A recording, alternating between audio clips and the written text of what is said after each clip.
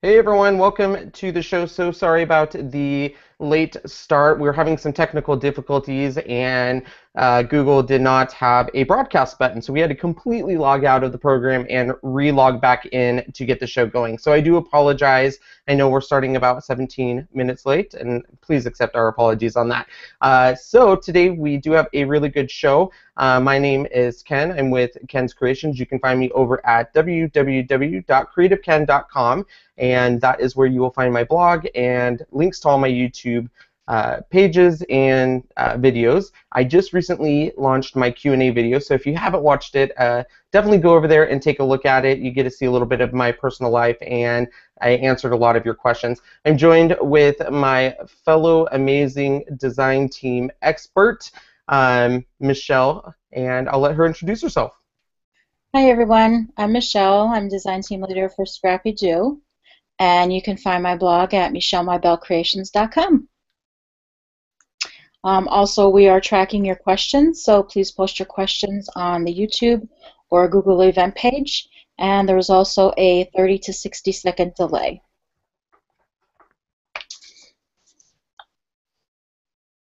So, um, what do we want to? What do you want to start with today, Michelle? Um, I pulled some questions from the, from your Cricut group. Okay, perfect. Thought we'd start with those. Okay, perfect. Let me share my screen one moment.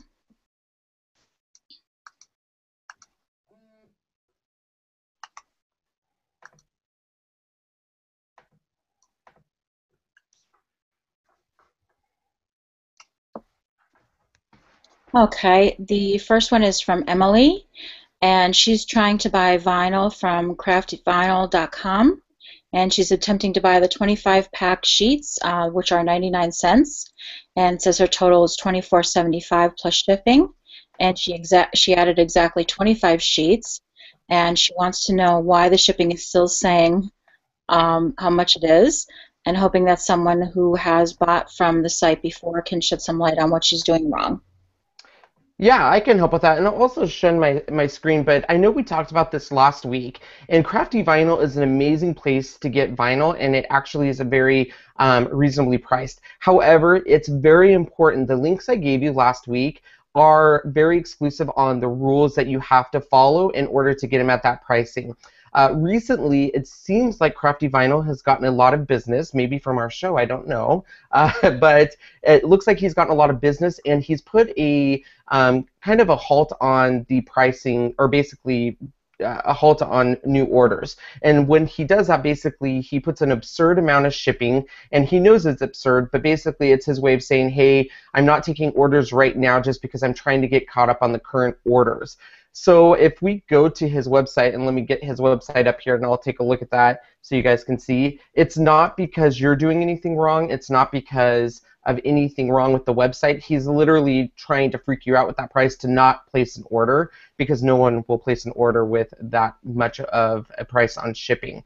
Um, normally, uh, his shipping is, if you follow all the rules on the Crafty Vinyl, your shipping would be not I think he has it at. I'm not sure if Michelle how much it was. It was ninety nine hundred ninety nine thousand, I believe. Yeah.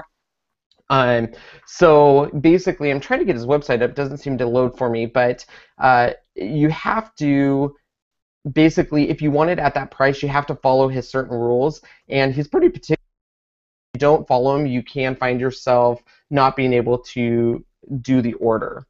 So let me go there, craftvinyl.com. There we go. And let me go ahead and share my screen here.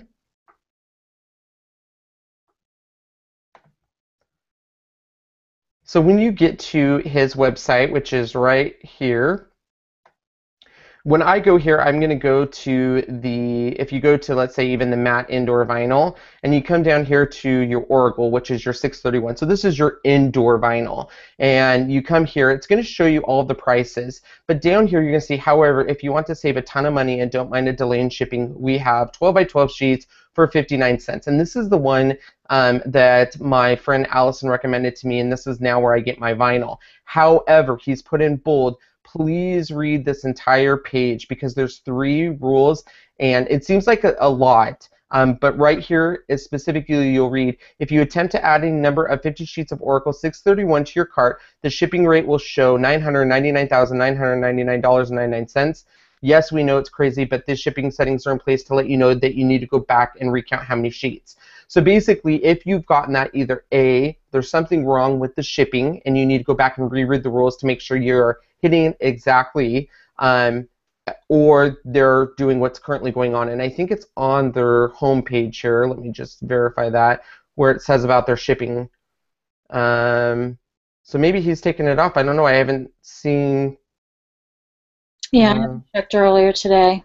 So maybe he's taken it off, but I know yesterday he had the um, in big bold red letters at the top here. It basically said that he was putting that price there intentionally because he was trying to get caught up on shipping. Um, it sounded like a lot of shipping was coming in. So that's if you ever on this website and you get that absurd amount, it usually is his way of trying to catch your attention of saying, hey, something's wrong with that order, or um, you need to go back and change something. And that goes with the same on the outdoor vinyl. So on the outdoor vinyl, which is your 651, he also does this crazy pricing here, which is for 59 cents for 651. But once again, it's just you have to read those rules. So I I'm one, and I'll be honest with you guys, I skip usually rules and I just add them to my cart, and I messed up this order two or three times and had to go back. Um, so if you are not in a rush for your vinyl, you have the 10 days to wait. This is, I haven't been able to find it cheaper anywhere else. So, um, and he even says in bold, we admit, first admit these rules may sound unconventional from a buyer standpoint. After all, we're buyers too, but 59 cents for 12 by 12 sheets is also unconventional, which it is. I mean, you can't find it that price, and in my opinion, Oracal is the best way to go. So um, that's the reason why you're getting that weird weird pricing right now, and it's one of those things that you have to do exactly his rules um, because if you don't, you have to go back and fix it in order to get that. Um, that deal. So I don't know anyone else has experience with them. I know that they're the best pricing, um, and you know if you've been familiar in any silhouette groups, um, uh, Nick is his name from Craft Vinyl and he's been well known and this is just something a lot of people unfortunately will attack him at, at times because they'll say hey i still haven't got my order or this is happening or this is happening and it's he'll always refer back did you read the rules of that specialized pricing? Because i have those rules in place for a reason. So um, i definitely recommend it though if you have the 10 days and it does look like his site's fixed because earlier today it was saying he wasn't taking any orders. So um, sorry to send you guys all there, and he had that weird thing going on, but it sounds like it's fixed. Yeah, you can't beat that deal. I mean, that's a fantastic price for vinyl. Yeah, it is. So, what's our next question? Okay. Our next question is. Okay, this is from Diana, um, again uh, on vinyl, and she wants to know if it can be removed from glass items. Okay. Um, well, I, will share my experience. So sometimes I've taken um, a vinyl on a glass item, and it depends on what's on the glass because I actually um, put vinyl. I actually went through this whole process of frosting a glass for my niece, and it had some frozen characters on it. But I frosted the glass, and then I put vinyl on it, and I probably didn't either. It was probably a good three weeks later, I took the vinyl off because I actually wanted to um, change the wording, and it actually ripped the uh, frosted glass off with it. And I do know on some glass there is a film on the glass, whether it be a red film, an orange film, something to give it some color. If you're not careful on the vinyl, especially if you're using a good quality vinyl, you could potentially peel away layers off that glass. Now, if it's a typical glass block or any other glass, you don't have to worry about anything there. But if they've added something onto that glass, a layer of film, vinyl, frosted glass, anything like that, it will peel away because I mean vinyl is, um, I mean it's a sticky residue, so it's going to pull that away if it's not on there good. Um, I don't know what, what experience you've ever had with that, Michelle, working with vinyl. Yeah, I really haven't uh, worked with red glass, so but I know if it, you know, the, there is that film underneath uh, on top, and it, it will pull the film off. Uh, mm-hmm. We'll have the clear glass underneath. Um, it's not like a true true red glass. Yeah, Yeah, I, I think um, the the biggest key on whenever I'm working with vinyl on glass, if I've added anything, even if I'm putting vinyl on wood, um, if I painted that wood, chances are I know that vinyl is going to peel up that paint layer. Mm-hmm. So when you're putting it on a wall even if you um, there's been times that i've actually ripped it and it's actually taken a little bit layer of my paint off so as much as you want to say 631 is repositionable it is meaning you can take it off the wall however depending on what's underneath that there could potentially be damage so i always tell people and this is a, another trick allison taught me when she was doing a lot with vinyl is when before she cuts her vinyl even and after you cut that vinyl always test your area test that vinyl do a little test on there to make sure it's going to cut correctly, and then whatever surface you're going to put it on, go ahead and put the vinyl up and try to remove it, you know, uh, and see if it does any damage. Um, so, anyways, yeah, that's, that's my suggestion. Are you leaving it up for like say an hour, or two hours before you try to remove it to see if there's any damage, or? I yeah, I, definitely. I do that on my wall space because I have I've actually put vinyl vinyl on wallpaper before, and I actually left that one overnight to see if it would rip it away, which it did. Um, so word to the wise there, don't put it over wallpaper. But um, I usually, um, unfortunately, the way I learned this lesson is that I gave my niece that present. It was actually a ScrappyDew project I did with their old character files, and um, she went to wrap the present to give it to a friend, and she actually put a little bit of tape on the vinyl. So when she ripped the tape up, it ripped the vinyl up, and that's when she called me and said, "Hey, it also ripped the glass etching underneath of it." So it's just one of those things that I always suggest: either a, you're going to learn from practice and learn from the mistakes that you made, or um, test the area. It's always a good rule of thumb is 24 hours. Leave it on there 24 hours and see. Okay. Um, and yes, Carolyn has just said someone is ready for the Super Bowl. Um, so the funny thing is, is I don't actually watch football. I know most of you are shocked right now.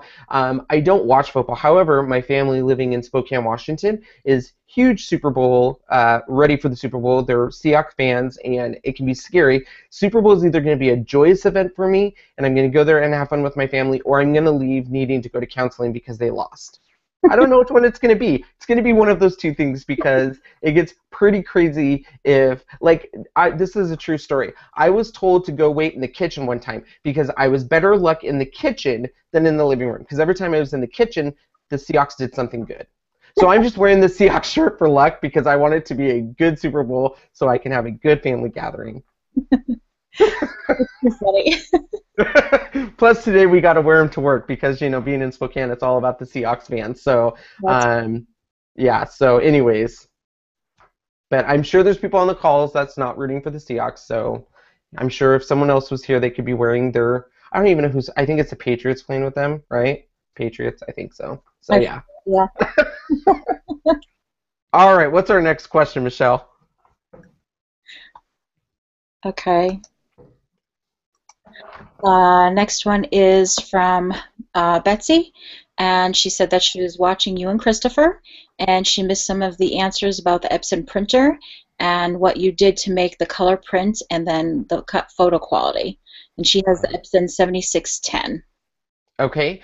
Um, so, first of all, watching me and Christopher, what a joyous event.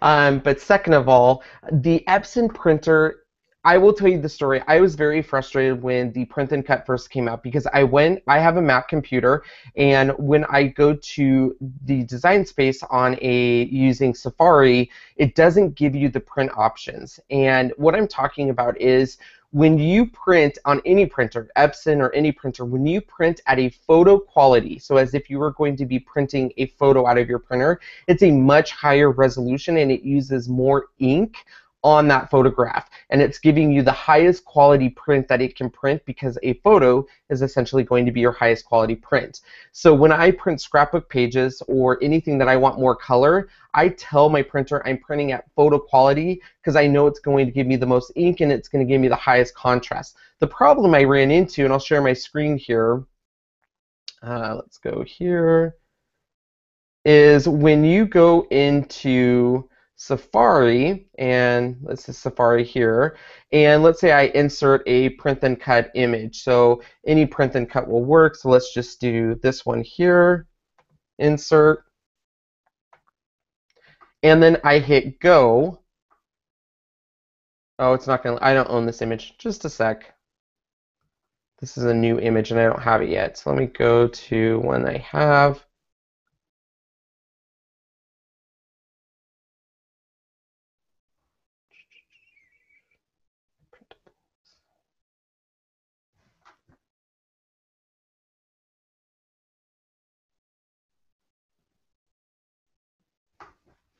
And once that comes up, there we go. So for example, this one, uh, let's go ahead and just do this leaf here. So once you bring it in to design space, you would normally then hit go and you're going to be able to set up your printer. And just one sec here. I don't know where my leaf is.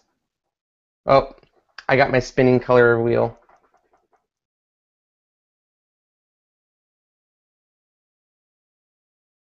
There we go. So when I hit go on this item, normally you're going to hit print and continue.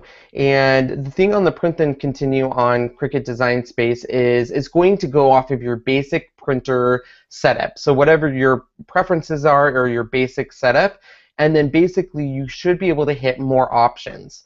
And I don't know if this is taking longer because I'm also logged in on Google Chrome here.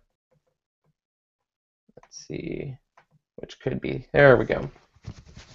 And so normally when you hit go, it's going to bring up your printer option here. And it's taken forever. So let me see if it does the same thing here.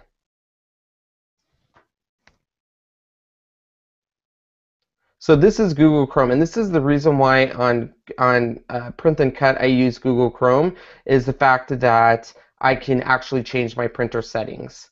So as you can see, it's much quicker too. So let's go back to Safari. Safari is still working.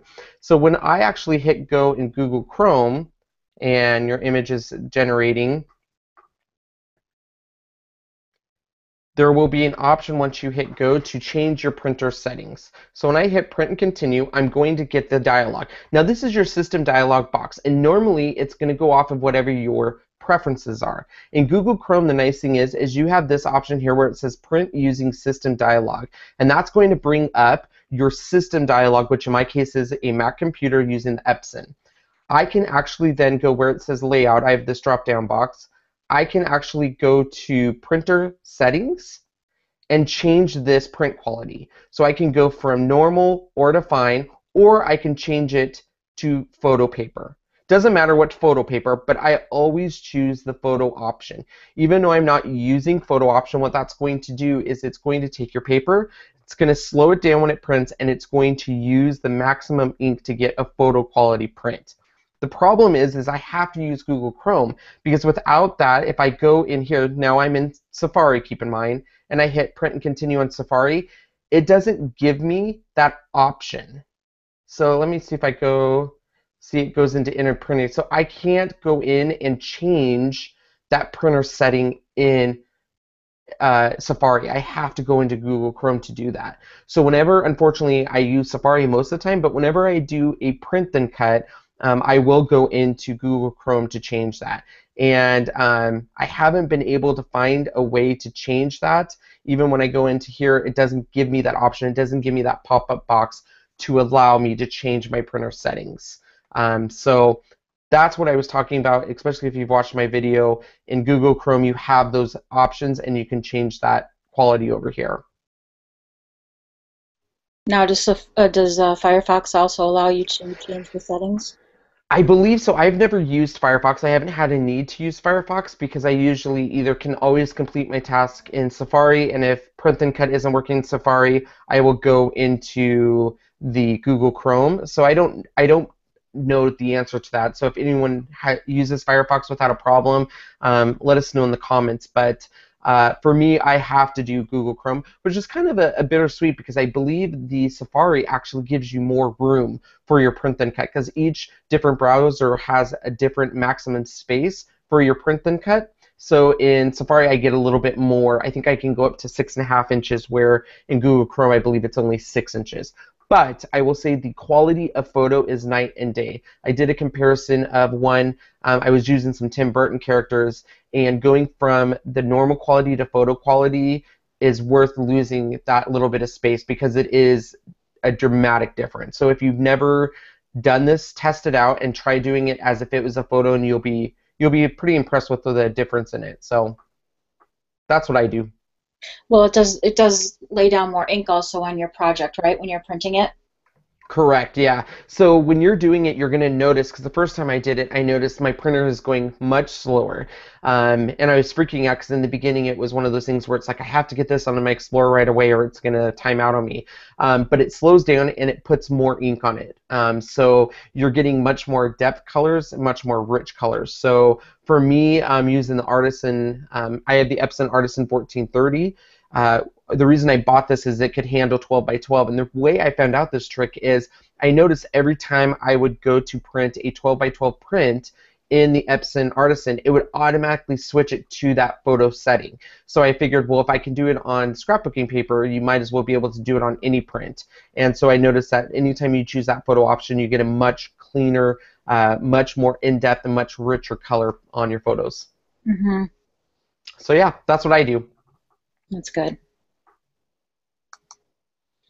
Okay, um, let's see what the next one is. I'm going to share my screen one moment.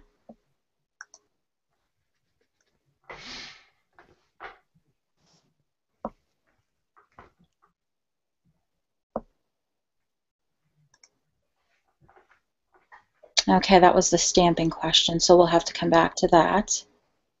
Christopher Alan's supposed to be here, and he was going to do the stamping questions. So if he gets on, we'll have him do that. If not, I can give you my insights on stamping. Stamping.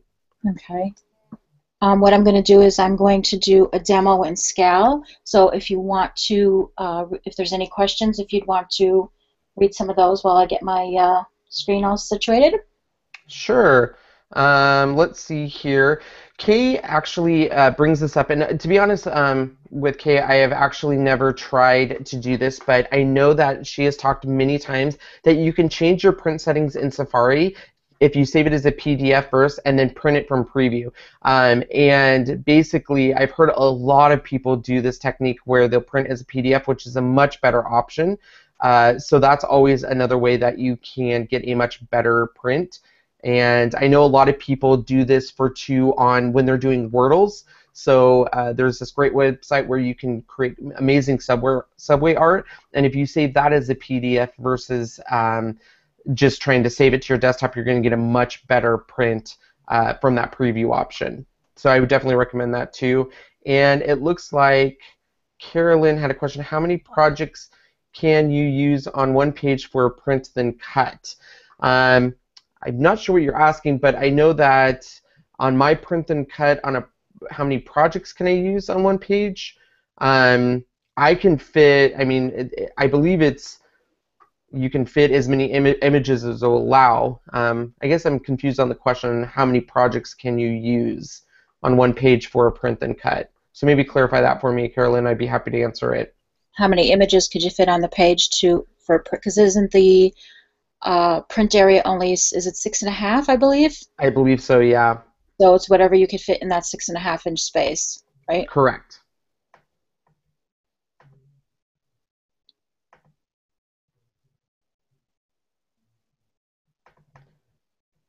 So yeah, let me take a look. Um, I was just taking a look at my Safari to see that. There we go. Um, so basically, I encourage people to try that using that photo option. Try to use the PDF option that uh, Kay is talking about too. Um, you'd be surprised on how much better your quality of prints will look. So um, I don't know if, if Kay, if you have a video on that on YouTube, I would love to reference that so people can see it. Um, if not, maybe we can create something for people to show them how to do the PDF, and I'd be happy to refer people over to there because I think that's a great way to to look at it. So. Mm-hmm.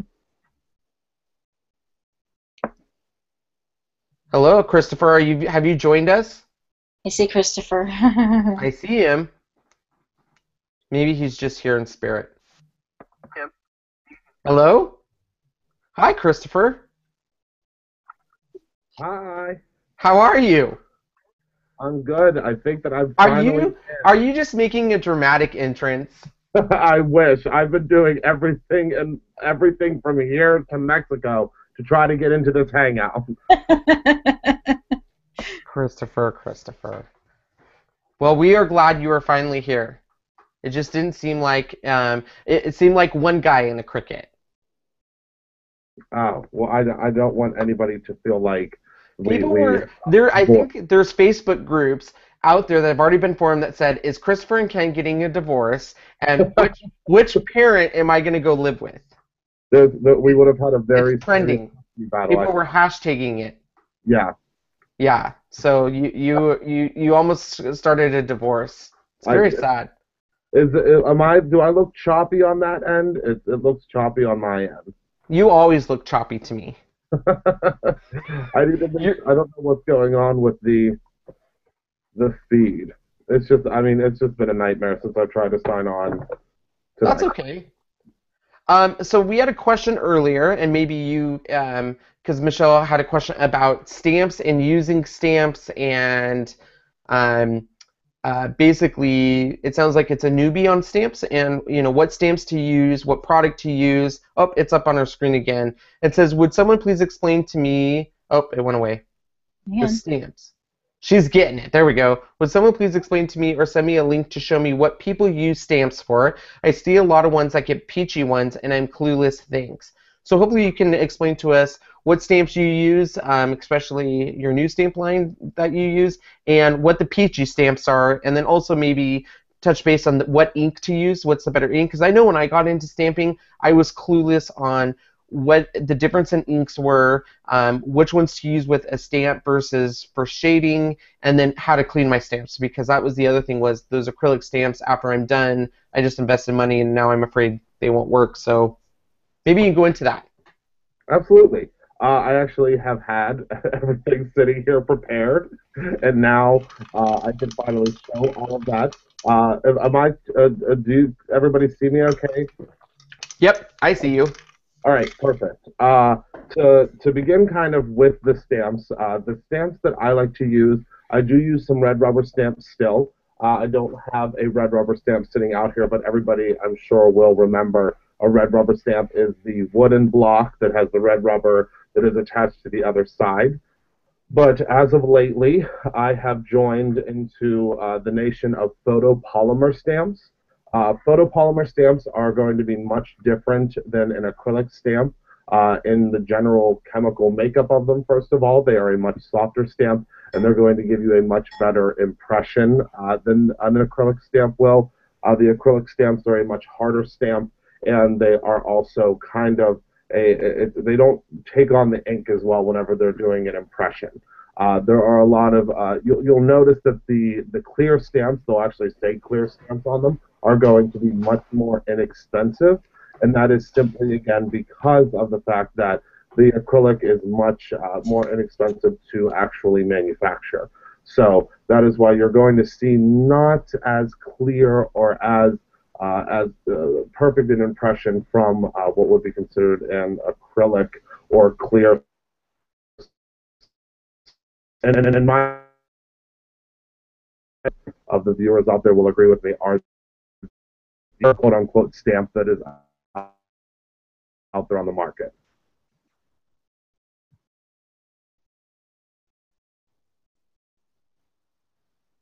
Do we lose Ken? Can you still see me? Yeah, I can still see you. Oh, okay. For some reason, it seems like it, it it keeps going out on my end, and I'm not sure why. Okay, so the, the, so with the the photopolymer again, that is uh, w- what I think would be the the best uh, to use with the impressions and things like that. Uh, now, the for uh, uh, for my stamp line, which is the Brutus Monroe stamp line, all of those stamps are photopolymer. Uh, they do have the the impressions on them are very very detailed, and I am actually very proud of the the photopolymer that is used by my manufacturer. Uh, so with those stamps, we'll kind of segue over to how you, you actually stamp with them. Uh, you would get a clear acrylic block. There are some people that say glass, these, these glass blocks that they use. I'm not sure where you get those, or I've actually never seen a glass stamp block. I'm sure that they do exist, but uh, the acrylic is what I use, and it's just a thin acrylic block. You can get them in all different sizes. This one, I actually, the thank you sentiment is actually uh, stuck on it for good because this is was the perfect size for this one. So I just stuck that on there for good. But you can normally just peel them off and place them onto different acrylic blocks so that you are. It's just like a like a window cling. Uh, and with the different types of ink, I have five different types of ink here that I'll just review very very quickly. Uh, first, the number one ink that I use for whenever I'm coloring with markers, alcohol markers, any type of marker really that you would like to use uh, is going to be uh, the Memento ink. This is Tuxedo Black. Uh, a lot of these inks are going to be made by the same company, and you can actually get all of these inks pretty much at any craft retailer that is out there or Amazon. Um, I'm sure Ken can actually post some links of where you can get all of these inks once uh, we're finished up and uh, this is the, the memento, which is it is a uh, fade-resistant dye ink, which means that it is going to be resistant to the coloring of markers. Then I also have a VersaFine ink, which is uh, I can never say the name of this manufacturer. Ken or Michelle, it, is it uh, Sukaneku? Is that how you pronounce that? Do either yeah, I've always said Suneco. Okay. Yeah. What whatever it's, it's T S U K I N E K L and they make amazing, amazing inks. This is these are pretty much everything. Yeah, everything that's on. Oh, it's with the exclusion of one, and you'll see, uh, is made by this manufacturer. But this is VersaFine. This is also a uh, it's a, a pigment ink, and this one dries almost instantly. So this one I like for the fine detail stamps because what you can do with this one is when you stamp it down, it almost immediately is going to dry thus making it a very sharp image because it's not bleeding and there's nothing that that can kind of can the lines cannot really run together. Then we have our solvent inks, and the only thing solvent inks that was confusing to me at first as well just means that it can be it can be stamped on non-porous surfaces, meaning on acetate.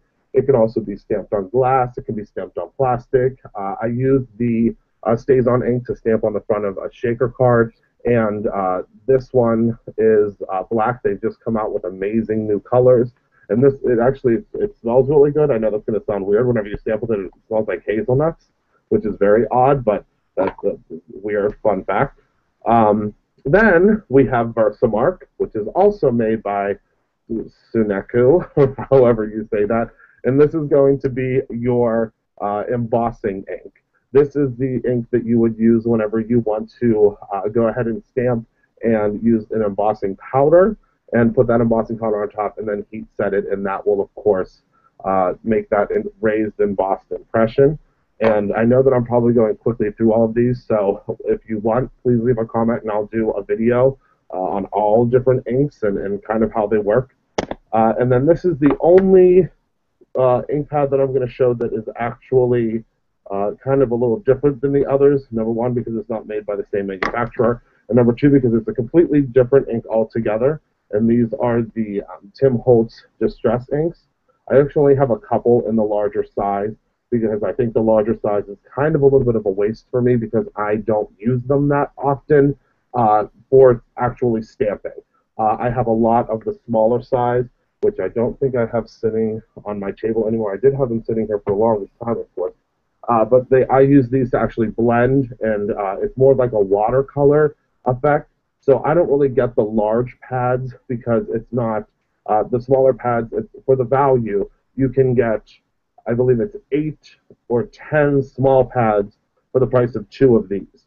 So I usually get the smaller ones, and you do not want to stamp with it. You can. It's not going to hurt your stamps. It's not going to do anything that, you know, to your stamps but it is not a really a stamping ink.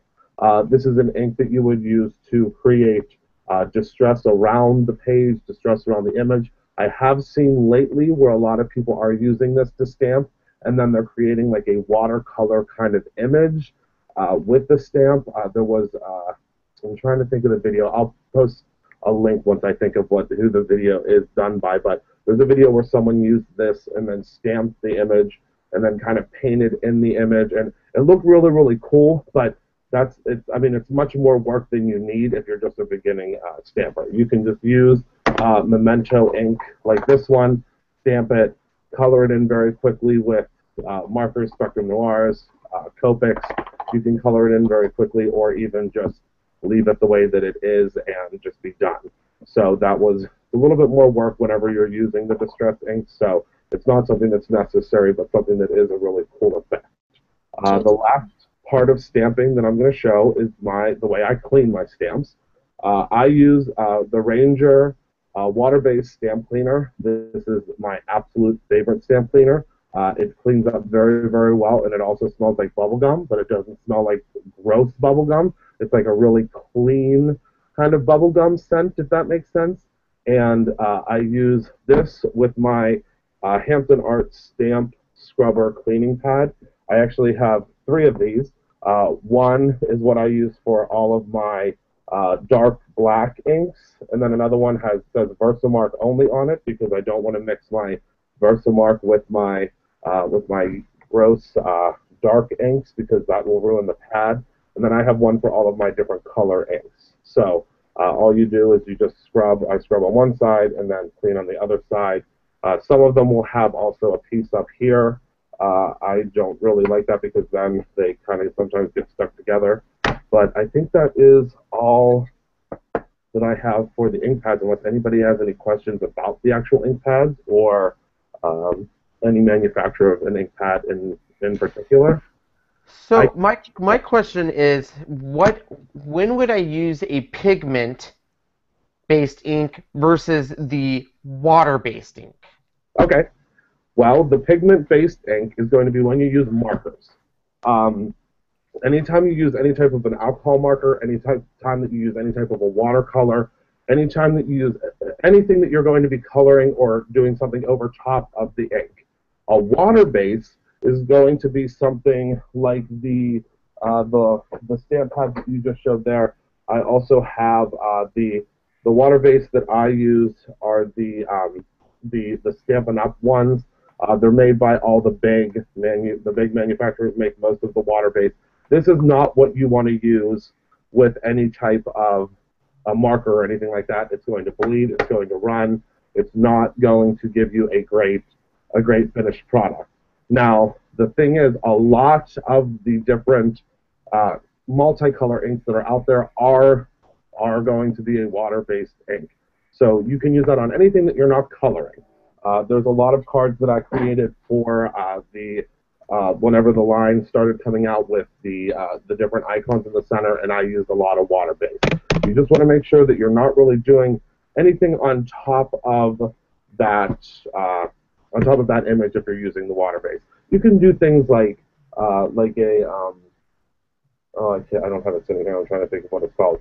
The glossy accents and stuff like that won't hurt it. Uh, but you really don't want to do any type of real sprays over top and things like that. I mean, it will make a neat effect, but it's certainly not going to be a crisp image if you're you're doing sprays and things like that over top of it. Now, if you use a heat gun, will that also set it? Uh, you'll get the same effect uh, for the for the water base. Water base. Mm-hmm. Uh, the water base. Is, I mean, it will set it, but in just in my uh, personal, I guess, kind of mess ups, because I've really honestly tried everything. When when I first got the first set of stamps, I stamped everything that that was. I mean, I stamped everything that wasn't moving and things that were moving. So it, it, it I didn't have much luck with the water base with any type of, of the different uh, mediums that I put over top of it.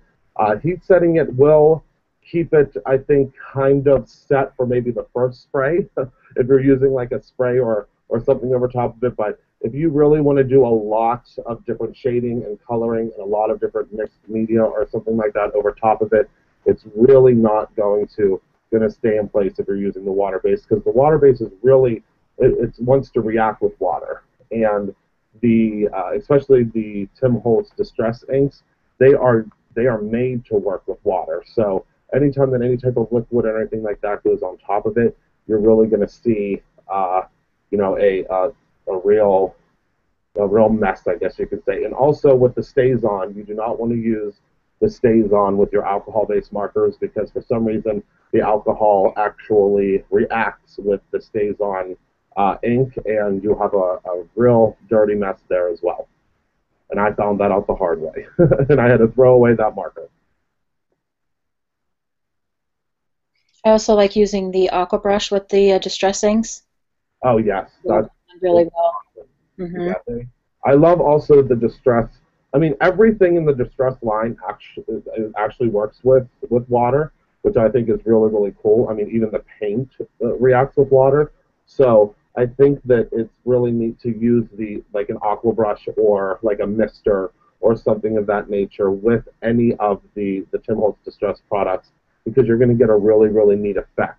Uh, I don't have the card uh, sitting here with me now, but I did do a card with a, a nativity scene in the background was using the distress the distress color, and you can I sprayed it. All you need is really one spritz, and then you dab it very quickly with uh, like a paper towel or a Kleenex, and it's awesome how it's almost like a bleaching effect, if that makes sense. Then it removes that color. Also, how would you suggest to store your ink pads? I now this is this is always going to be I think a a, a, a debate with everyone. I store my ink pads upright like this. Like this is the top of my ink pad. I store it like this. They are all stored like this in uh, different containers. The way that I, I have actually in my craft room, I have a one drawer that is devoted to all of my everyday stamping supplies. I have actually eight of those drawers that are dedicated to things that I use every single day, uh, or uh, things that I'm always reaching for. So I have the one drawer that has all of my everyday stamp pads in it, and I'll show you kind of how I. I'm going to grab this uh, this container here. This is how I store my stuff that I don't use every day, and this is one of those. Uh, the iris cases. A lot of people store their embellishments in here. I like this because I know that everything is going to be stored in the the same upright position. No matter what, uh, everything's going to be the same way. If a lot of people will store things like in a box that is sideways, or there, there's a whole bunch of different containers, and they don't really know how their their stamps are being stored. But this is this is how I store mine, and then I know that all of my ink pads, as you can see, there's two ink pads in here, uh, and these are all ink pads that I don't really uh, use often. I mean, half of these aren't even open because I used one of the ink pads that were similar to this, and it was terrible, the brand, so I just never opened up the other one. Uh, these ones are, are like children's uh, ink pads, and then one of this is Stamp, Stamp Abilities, which is the Hobby Lobby brand, and I just thought, I mean, it was it was terrible. I mean, their pigment ink, I, I wouldn't, I would not recommend. So this is how I store also a lot of my clear, my clear stamps are in here as well that I don't use often. And this holds, I mean, there's probably, I'd say 15 to 20 in here. So I keep them all in these containers, and then everything, I know where everything is. Oh, here's my other two distress pads. I don't know where the little ones went. I know that, I think that they're somewhere here on my desk because it's one of the items that I keep out because I use them all the time, but I'm not sure where they're at right now. But this is how I store all of the ink pads that are not in the uh, that are not in that drawer. So everything is stored upright, and then I know as long as this container is stored upright, that everything is in the right position. And this is also how I put a lot of my, uh, how I'll store a lot of my rubber stamps. Actually, this is how I store all of my rubber stamps. As you can see in this one, there are a ton of rubber stamps in there, and so, Christopher, do you have Leslie um, wants to know what is chalk ink? Do you have chalk ink and have you used it? Um, I have not used the chalk ink. I have heard about the chalk ink though. Uh, from what I understand, the chalk ink is it's like a it's like almost a paint, uh, a paint slash pigment uh, based or dye ink, and I've seen a lot of people use it. I wouldn't necessarily run out myself to get it because you can achieve the same effect with an opaque or semi-opaque like white ink pad, or you can also achieve the same with uh, a, a, a, opaque or semi-opaque uh, like different colors of the ink pad. Uh, you want to make sure that it is an opaque or like a like a like a almost like a powdery ink pad though, I have not used them. Uh, I've seen them, but I have not used them. I just haven't had a use for them yet. But from what I've seen on, on YouTube and other people using them, they seem great. But you can achieve that if you just have a white ink pad. It's going to really do the same. Yeah, and that's what I do. I actually have um, on the close to my heart. They have this uh, the white pigment, and it basically just goes over black and stuff, and that's what I use it for. Um, so earlier we were talking about printing and PDF, and Kay Hall actually posted her link. So she does have one showing in Silhouette Studio, but it should be the similar for Design Space. The interesting thing is, is uh, when I use, and I don't know if you've ran into this, Christopher, but in Design Space, when I use Google Chrome, I can save as a PDF file. But in Safari, I can't change my print settings and I can't save as a PDF file. So I don't know if it's just my computer maybe or if it's a software issue within Design Space. But um, I can't do either of those options used in Safari. But in Google Chrome, I can do both options. In Google Chrome, there's an actual link that says save this image in PDF format. So it's quite interesting. I don't know if that's just a Safari limitation or just my computer. Uh, yeah, I think I, I've had the same the same situation as well. I think it might be. I'm pretty sure that on my PC it's a little bit different though than my uh, what I'm what I'm seeing on my uh, on my Mac.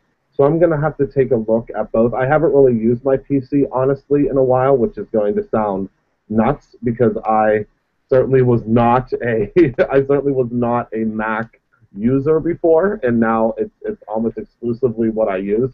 So I need to start getting back into the PC so that I can do videos uh, for everyone. Uh, but I think that on the PC it may have given me that option, but I'm not sure. Yeah.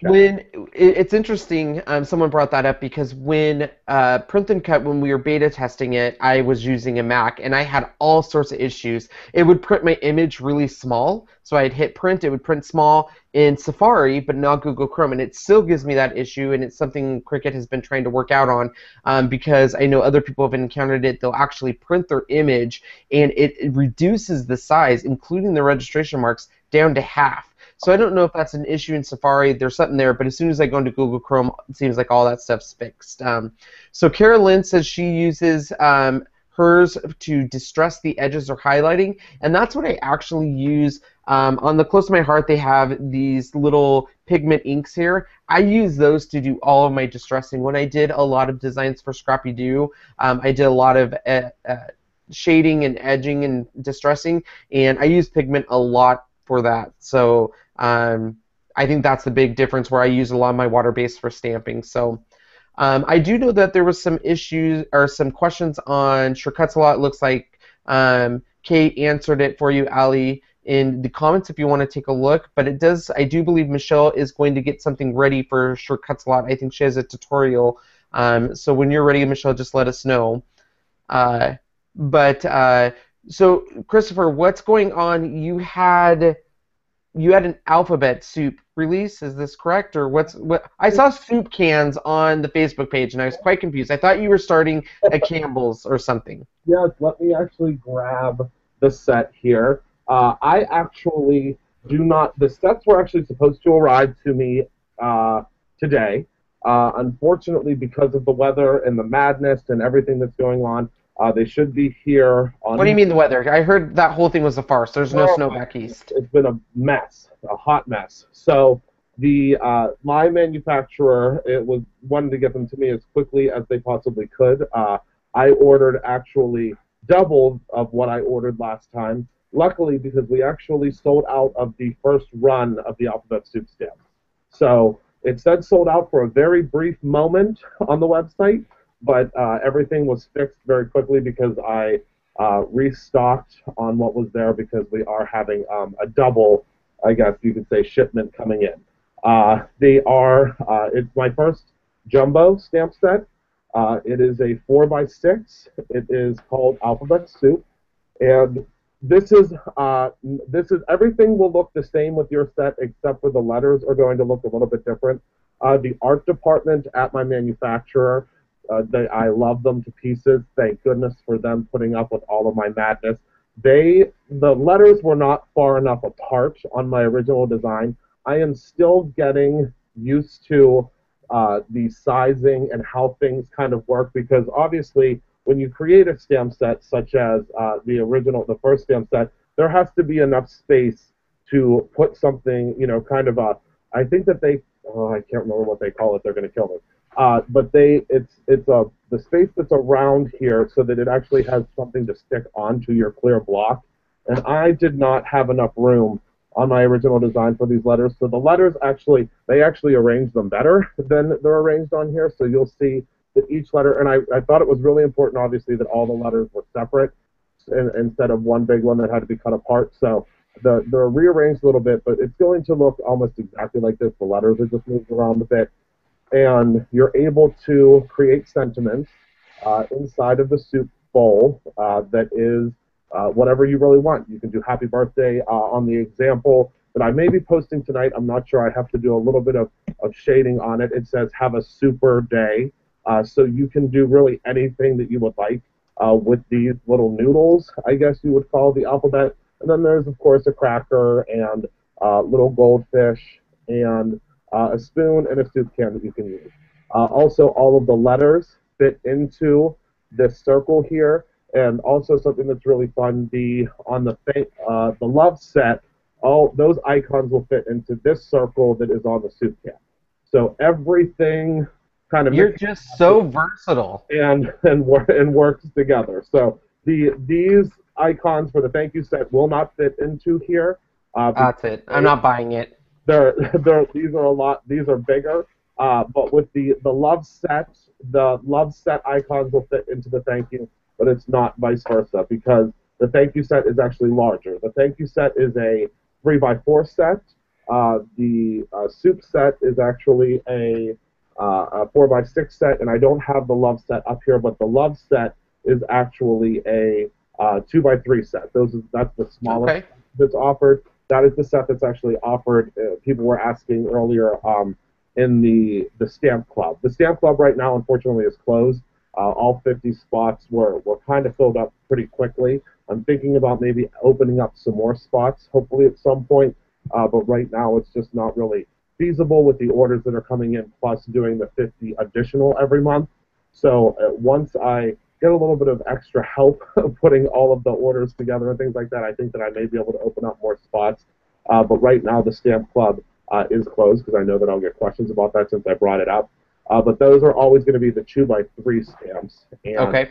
hopefully, I'll be releasing tomorrow or Sunday the stamp that everyone's going to get in March and then also a super duper fun uh, sneak peek release of the characters that are going to start you're going to start seeing with the uh, Brutus Monroe stamp line, and I'm very excited. So awesome. Yeah. All right. Well, it looks like Michelle is ready for her tutorial, so we will go ahead and hand it over to you, Michelle. Okay.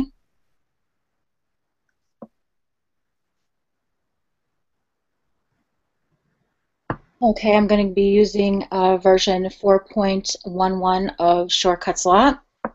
And we're going to do a little demo on the duplicate rotated uh, feature. And I'm going to go up to the library and I'm going to bring in a heart and a diamond and a circle. And I'm just going to move aside the circle and the diamond for now. Increase this a little bit. Okay. And then I'm going to go to Object and Duplicate Rotated. And I'm going to make a total of 10 copies of my heart. and I'm going to leave it at clockwise for the direction and I'm going to leave it at evenly and I'm going to rotate the horizontal at do it about two two inches and then what I'm going to do is click on group duplicate and then OK and when you click on group duplicate what that does is you'll be able to move the whole uh, section of hearts as one. Okay. And next we're going to work with the diamond.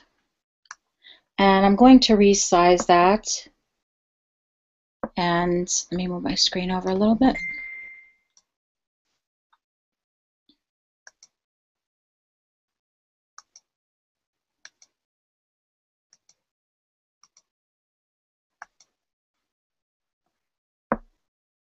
I'm going to resize that at, oh, let me go back. I'm going to check uh, keep proportions. I'm going to resize that at about 561.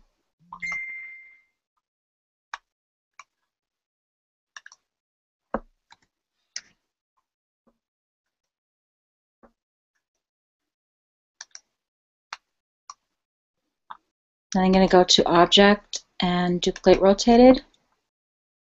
And that I'm going to make and do four copies of that. Again, keeping it a clockwise and evenly. And that I'm going to do, I think we'll do about 40. And then I'm going to click on Group Duplicate and click OK. And I'm going to bring that in the center. Okay, next we're going to work with the circle. Again, I'm going to resize that at, let's see,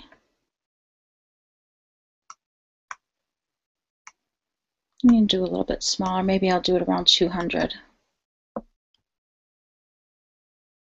242.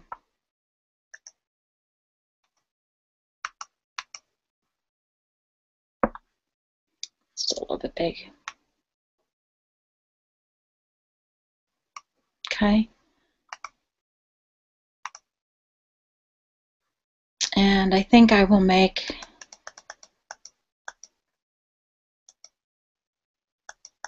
I'll do about 12 copies of that. Again, keeping it clockwise and evenly. And let's see. It looks a little bit too big. I'm going to go to one, 110 and click OK. And I'm going to move that to the center. And I'm going to select all. Okay, and I'm going to center them to each other. Oh. Hang on.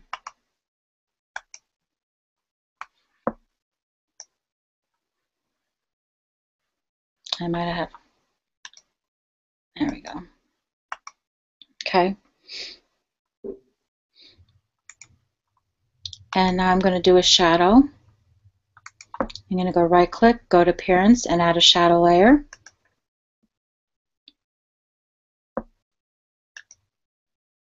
I'm going to do shadow rounded. And let me move that out of the way. I'm going to do 30 and then I'm going to do blackout. I'm going to click OK. And as you can see, some of the blackout didn't take effect. So what I'm going to do is lock all these layers. Click on the shadow layer. I'm going to go to Object and break apart. Okay. And I'm going to click on the shadow layer. And I'm going to click on this little arrow right here. Scroll down a little bit. And I'm going to go to the menu and I'm going to go to Arrange and I'm going to move that layer to the top. Okay, scroll back up. And I'm going to move the layer up to the top above the folder. And I'm going to click on the shadow layer and delete all those. Okay. And I'm going to change that to red.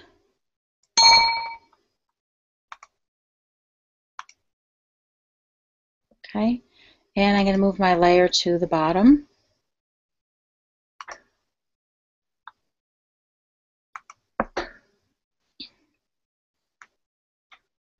Okay, and then what I'm going to do is click on this layer, and we're going to do another shadow. Go to Appearance and add Shadow Layer.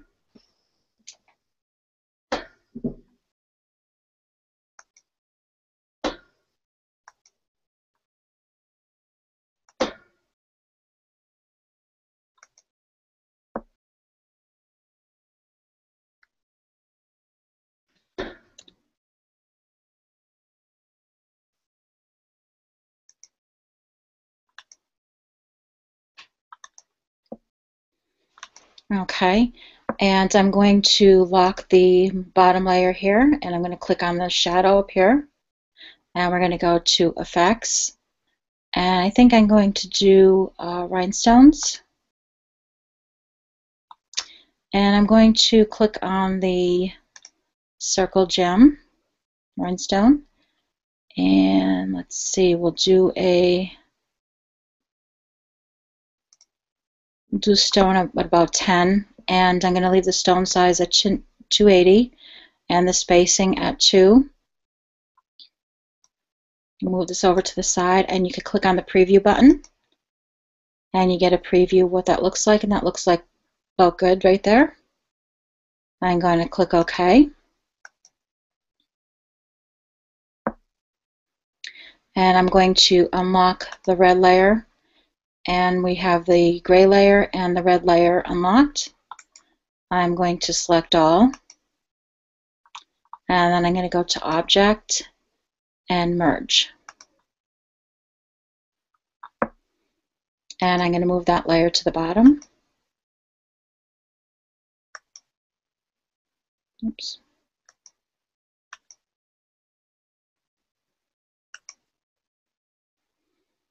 And I'm going to color that once again with a dark red.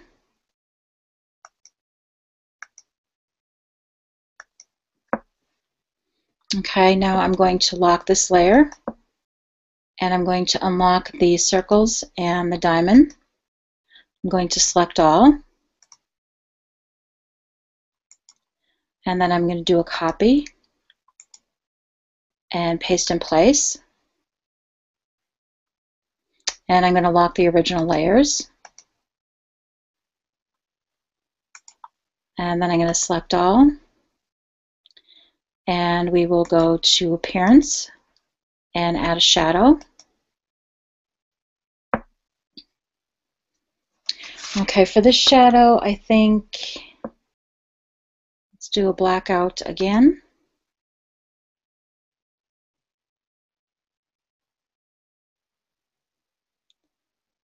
Move this out of the way.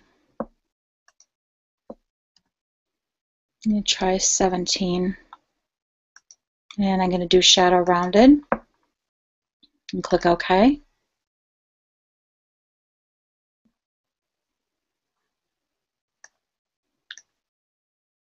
And I'm going to lock these layers again. Click on the shadow layer. I'm going to go to Object and Break Apart. Again, I'm going to click on the arrow and you'll see all the little specks that are broken apart. And I'm going to move that to the top. Scroll up. And I'm going to move that up to the top layer. I'm going to click on this layer and I'm going to delete. And I'm going to unlock these layers here. I'm going to select all. I'm going to go back up to uh, Object, and we're going to merge. And I'm just going to move that over to the side. And I think I'll color that red as well.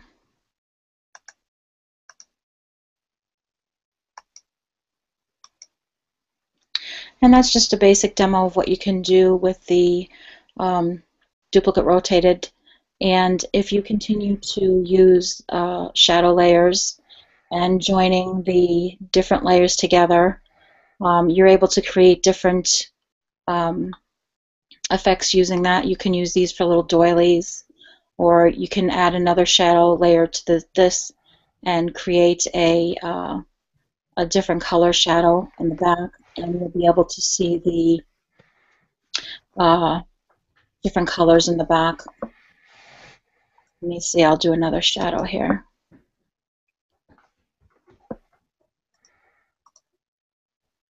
Okay. We'll do that as a blackout as well. And we'll click OK. And let's change this to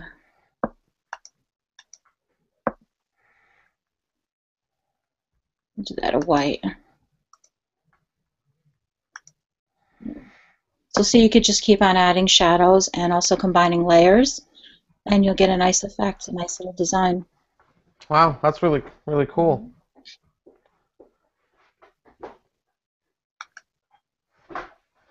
I think you know the funny thing about uh, Sure a Lot is a, a lot of us have been conditioned with Design Space um, that we don't have a lot of editing capabilities. So when we see, even me, when I see you demonstrate this, in a way I'm overwhelmed because there's so much you can do with uh, the Sure Cuts a Lot software, and it can be a little intimidating. How long did it take you to get as comfortable as you are with it, Michelle? How long was that process for you? Well, I use multiple uh, software. So I use like Make the Cut. I use uh, Sure Cuts a lot. Uh, sometimes I use Inkscape. It depends what I'm going to do. Um, but I, I, like software. I like playing around in it and learning new things and what you can do. And especially the new version of four, uh, the SCAL 4, they've added a lot of new effects to it. So mm-hmm. now you're able to do a lot more designing than you were before. So, okay. you know, like there's a lot of text effects they've added. Uh, you know, different things like that. So you're able to create a lot of uh, uh, nice designs with it. Ah, well, it looks very cool. That was a very good tutorial. Thank you so much. You're welcome. So um, I know we wanted to talk about my blog boyfriend. Um, I don't know if we still want to, uh, if we have time to kind of go over what he's been doing. Um, yeah, we could do that. Perfect. So um, Christopher is quite jealous right now because I have a blog boyfriend, which is not him because Christopher does not have a blog. Um, what was that? I said he left me. You left me so quickly. Okay, I didn't leave you. I just found a better blog than yours. So I mean, it, it doesn't take much. It, mine has a, a, video and I think my signature on it. So anybody, yes. anybody's ahead of the game. And I'm ta- uh, my Q and A video when it comes out, and I say really nice things about you in it. I'm cutting that part out tonight. I'm editing it. I said really nice things about you in my Q and A video. wait until you see my new video. I say the um, things I could say about you, and I'm taking it all back. Oh, jeez, you are a drama queen. Um, so, anyways, I did back you back did... onto Christopher's replacement. Um, so I uh, had the privilege one time of going into Facebook groups and seeing. Um, anytime I see a guy crafter, I instantly um, chat them because it's very exciting because there's not a lot of guy crafters out there. And a gentleman caught my eye one time in the original Cricut Design Space group. His name is Omar Toro, and he uh, has a blog, and it's amazing on what he creates. Um, so I'm going to have Michelle show it, but if you guys are not following his blog site, um, it's called awesomesvgs.blogspot.com, and he actually creates these files that are amazing and they're free. Um, he gives them to anyone coming onto his blog, and recently he's really impressed me with his latest uh, SVGs he's created, which are um, they're almost like a stamp, Michelle, aren't they? Kind of a, a stamp image. Correct. Yeah, they're hand drawn, and he's created an SVG, and this way you are able to resize that stamp to any size that you need for your project. Um, yeah. With typical stamps, you they're a certain size, and you're only able to use that certain size, unless you know you can scan them in and then you know recreate it that way. But yeah. he's hand drawn them that they're actually able to be resized. Well, and the interesting thing is, is, and I know Michelle will show him and on his blog, but not only did he do a great job, but he can, he does a really good job coloring with markers. Like his shading is really good. Yeah, he does an amazing job. I, I have such a talented blog boyfriend. I tell you what. we should also preface this in saying that he actually, I mean, this is this is this has been a lot of confusion, a lot of different in a lot of different groups, and a lot of different uh, a lot of different areas. He actually is creating his own SVG. There is a right. big difference between someone that creates their own SVGs and someone that takes shapes in design space and puts them together and then gives those files away. That is not creating an SVG. That is taking patterns, putting them together, and then, not all the time, unfortunately, giving them away, uh, but sometimes uh, sometimes offering them for a, a monetary value. That is a that's a big difference. There's not he actually is designing and creating his own SVGs for you you to use in any program that you would like, uh, and it's not something where he's taking images in design space where you may need a subscription or you may need uh, a specific cartridge to use that file. Uh, everything he's creating is of his own design. So I wanted to let everyone know that because that is kind of a gray area because there are individuals out there that are creating design space designs, uh, which are files in design space that are using the design space licensed or design space copywritten images to create things and uh, allow people to use that, which is which is fine, but that's a, a whole different ballgame than actually creating your own SVGs, which is what he does. Yeah, and he's. Um, I'll have Michelle bring it up because it's interesting you say that because the reason he started these anime characters is he actually found stamps he liked and, and reached out to the company and said, "Hey, can I can I uh, can we do some cutouts for your stamps?" And they said no. Um, they basically said no, we don't want you to be able to do this, you know. And so it kind of started him in creating his own digi stamps, and now he is giving to all of us for free. Um, so maybe Christopher, this is a good idea. You could just start giving your stamps out for free. What?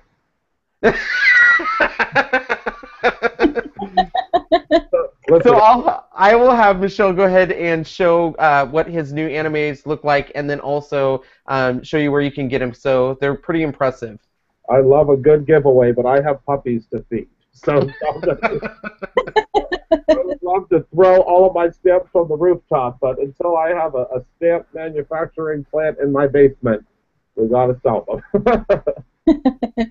all right, Michelle, the screen is yours to show everyone his amazing stuff. Okay. And his blog is awesomesvgs.blogspot.com. And this is the latest series that he has created, Valentine's Day Couples and this is three and four of the series. And as you can see, he does an amazing job coloring the images as well. Not only can he draw, but he's also an amazing colorist. And then if you click here, okay, these are some of the additional images. And then below he will give you instructions how to import them in Design Space and what size to resize them at. And then below that are the links to download the files. Okay.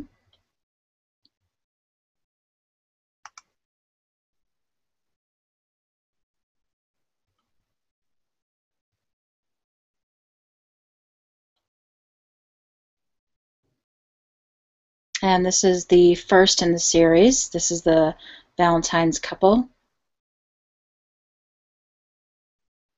Again, if you click here, he will give you instructions and with additional images.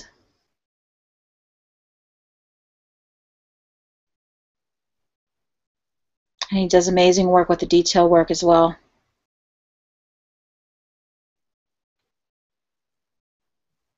Especially with the hair.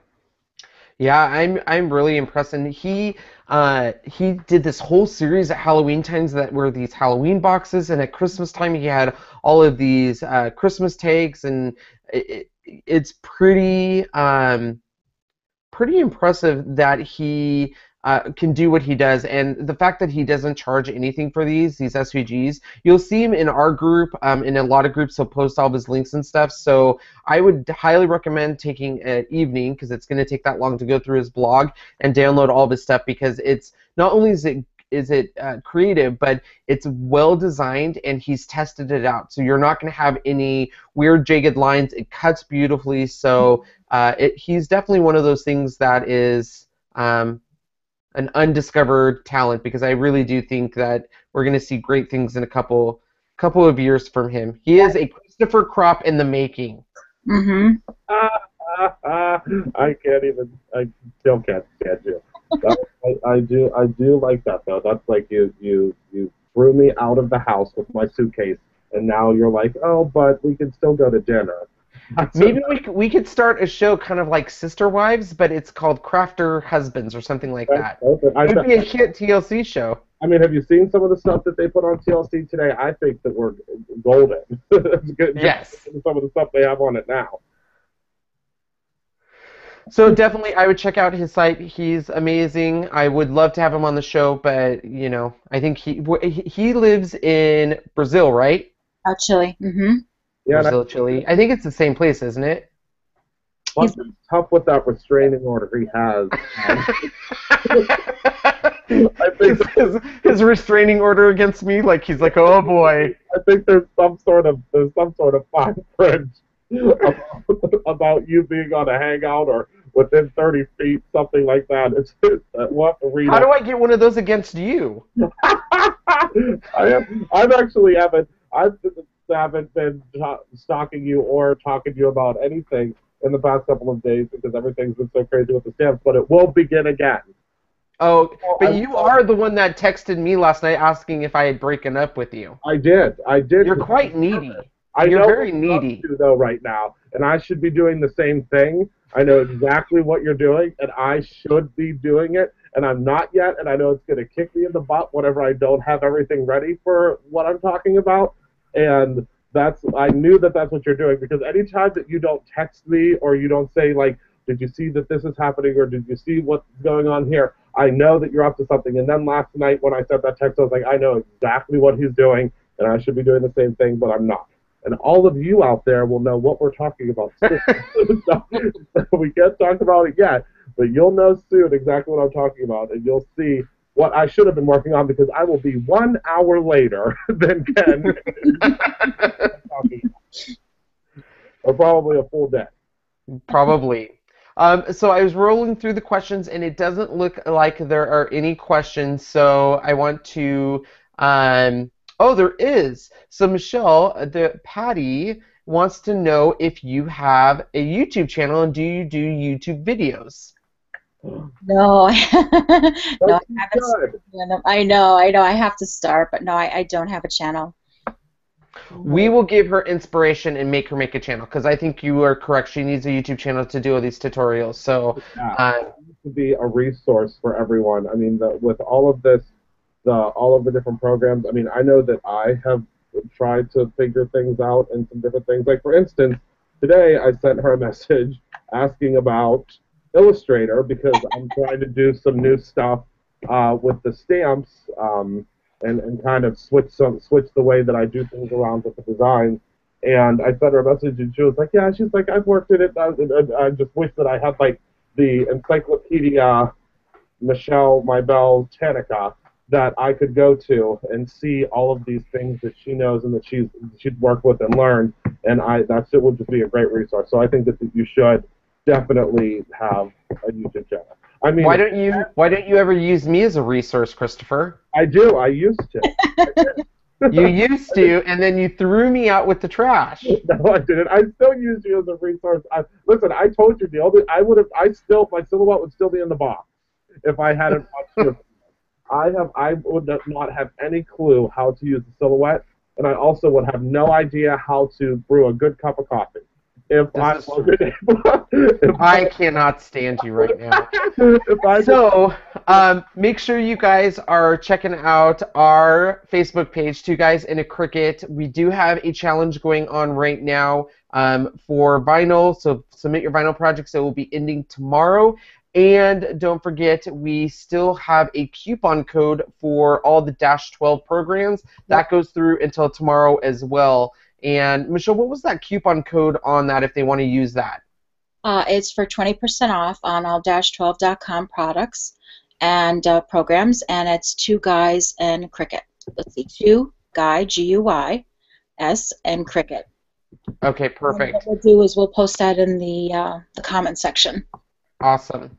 So, and it does look like Omar has is in our group, so he is saying hi to everyone. Christopher, put your hand down. He's my blog boyfriend. Don't even try stealing my Omar. Oh my goodness. What you're so it was oh, oh he actually I'm sorry, I'll tell you about it later. Is there a, there's a secret? Is there a secret affair going on I need to know about? and I'm well, I'm actually getting on the first plane to Argentina right after. I knew it. I knew it. I knew it. sometimes I'm devastated.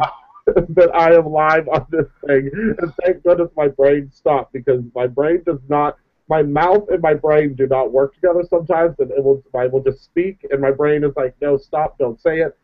So luckily we caught ourselves that time. But yeah, Good job. he's he's he's fantastic. He's Yeah, he I followed with him too with his those those whenever the first time that I saw I think the stuff that he was creating was whenever he used the uh, ScrappyDew files and he created I think did you say Ken those awesome Halloween boxes? He, uh, yeah, I think one of the things that stood out was um, he used the ScrappyDew files and created these amazing Thanksgiving napkin holders with the Pilgrim and the Girl Pilgrim, and they're absolutely stunning. And then right before that, um, uh, he was creating these uh, Halloween boxes that you could put treats in to go give to people, and that's when, of course, people started really noticing because he did this whole series, and that's when Michelle got her claws on him and said he is now part going to be a ScrappyDew designer, and uh, he's just, I think, going to take off.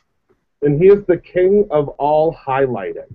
Whenever I, I remember a lot of the things that he did with his images, he uses a gel pen like I've never seen in my entire life. Amazing. Yeah. Yeah. highlighting, and he does like this. I mean, he just does a lot of in his in his um like his shading and, and stuff like that. I mean, he does an awesome, awesome job with it. I mean, he and th- those chalkboard things. I remember those. I mean, he does he does really really neat stuff. I wish that half of the stuff that I did looked like that, and half of the stuff that I did I put on a blog because I would I don't have I don't put anything up that I did. Correct. Uh, I So, have he- a screenshot. I screenshot. okay. want to see the uh, pilgrim. there they are. Yeah. And see, that's what, yeah, he uses that gel pen on the pilgrims there around the feet and stuff. So it's amazing. That's, I mean, a, man, a very big talent. Yeah. So definitely check out his blog. Make sure to get those files. Um, he uh, commented that Christopher, there is enough for both of you guys. and then he clarified that SVGs that is. that could not that could literally have not been a better comment. I don't Exactly. I don't know. So obviously he is he is right up with our cuckoo cachoo. Yes. Not many people do. Most people check out. Yeah, We're the only two in this insane bin. these two are nuts. that's what, that's what happens at this point. But now we do. But he's he's right in our in our in our crazy group. He's part of the Crazyville. One day we have to get him on one of these hangouts. I mean, he's gonna have to stay up until three o'clock in the morning or something, but he can he can come on. I've Yeah. been trying. I've been trying. I've been trying. What time is it there now? I want to check. Ask, I guess I could just ask you, Omar. I believe, I believe it's one o'clock in the morning, if I'm not mistaken. What time? I think it's One o- close to one. Is it Oh. eleven now? Here? It's just time to go out. I'm sorry. It said it's just time for him to go out. It's, it's Oh, the yeah, perfect time. Yeah.